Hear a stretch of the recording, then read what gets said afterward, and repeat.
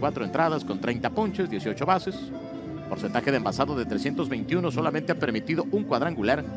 En lo que va de la campaña, el zurdo bregonense. ¡Swing! ¡Abanica! No hubo interferencia y sí, se lleva un fuerte golpe y Adit Drake hoy descansando.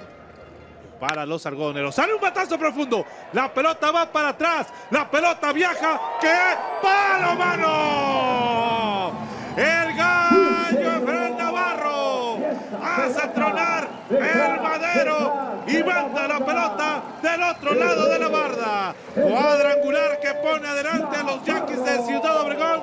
Se rompe el encanto y se abre la pizarra. Los Yankees lo están ganando al son de 1 por 0 sobre los algodoneros. En 2 y 2. Listo el derecho. Gerardo Reyes viene para home. Rola por el short. Gamboa pifia la pelota y todo mundo va a quedar quieto. La rola violenta a la izquierda de Happer que no se puede quedar con la canica. Se empata el juego en los spikes de Francisco Hernández. Todo mundo queda quieto. Juego nuevo. Junior Villares a la altura de la séptima entrada. En 3 y 2. por el suelo el lanzamiento. La base por bolas.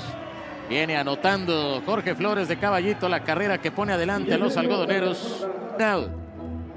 Aceptando la señal, Miguel Aguilar aquí viene para home, batazo elevado, peligroso para jardín derecho. Taiki Sequine se va colocando, tiene la pelota, pisa y corre para home, aquí viene el tiro.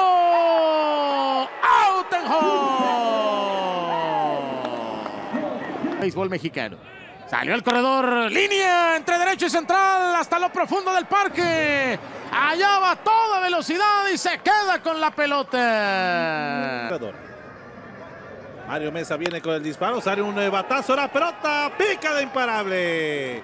Para buscar retirar al corredor en la inicial, dice quieto. Dice Junior, ya, ya, es con la espinilla, no es con el spike. O sea, no sí. podemos tomar en cuenta quién pisó primero.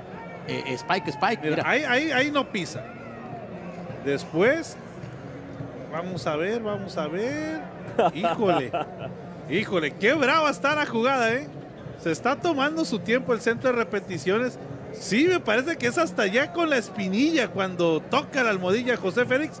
Y si es así, pues ya estaba el zapato de Fred Navarro tocando la primera colchoneta. Ya llegó la determinación. Dice los umpires. ¡Ah, de primera! Ahí está entonces.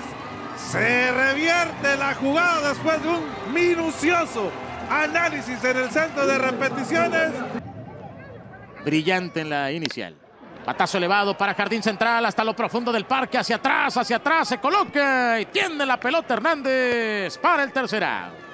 Termina el partido, señoras y señores, a las 10 de la noche con 55 minutos.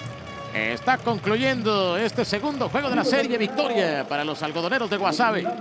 Dos carreras a una, en trepidante juego de pelota desde el estadio Yaquis.